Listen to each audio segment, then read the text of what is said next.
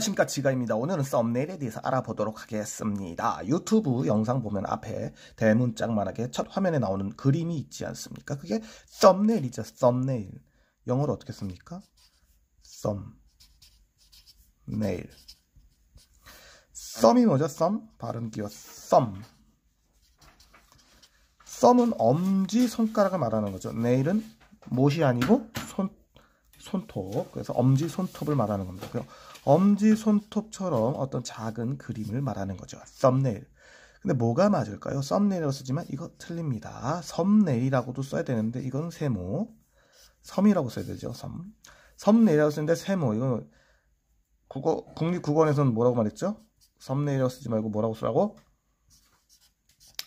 마중 그림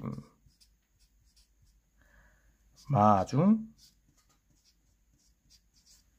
그림이라고 순화어를 제시했습니다. 마중 그림